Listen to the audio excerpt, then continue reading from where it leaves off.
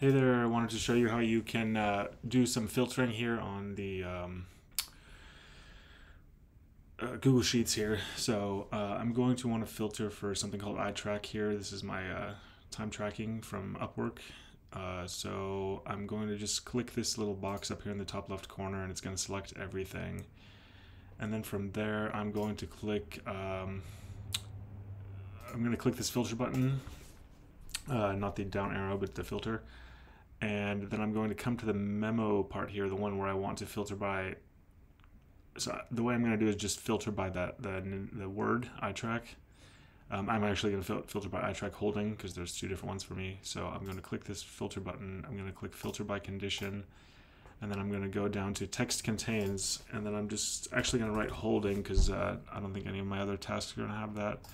I'll click OK, and then it's you'll see it's going to grab everything just from iTrack holding here. And the way I do it is I go and uh, just copy these, um, Control C, copy those um, rows, and I'm going to click Add Sheet. Um, I'll say iTrack holding.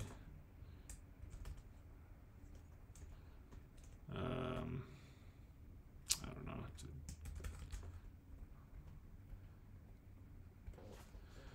Like that. Um, just going to Control V paste them in, or Command V since I'm on Mac. Um, and I'm going to, oopsie, not do that. I'm gonna. Um, that's it.